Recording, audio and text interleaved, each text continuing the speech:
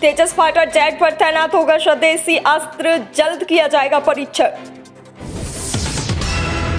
पश्चिम बंगाल में अनुव्रत मंडल ने दिलीप घोष को बताया खतरनाक वायरस। भाजपा नेता बोले, बन रही है वैक्सीन।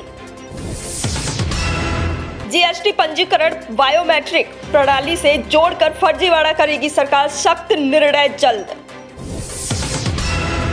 पीएम मोदी आज संसद सदस्यों के लिए बहुमंजिला फ्लैटों का करेंगे उद्घाटन। कर्नाटक के पूर्व मंत्री आर रोशन बैग को आईएमए पोजी घोटाले में सीबीआई ने किया गिरफ़्तार। जी ट्वेंटी शिखर सम्मेलन पीएम मोदी बोले 2030 तक दो दशमलव छह करोड़ हेक्टेयर बंजर ज़मीन को उपजाऊ बनाएँगे। आतंकवाद और धर्म परिवर्तन का मूल कारण तुष्टिकरण गिरिराज सिंह।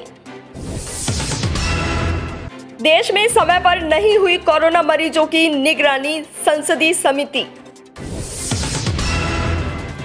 आरबीआई के ट्विटर पर फॉलोअर्स की संख्या 10 लाख पार बना विश्व रिकॉर्ड।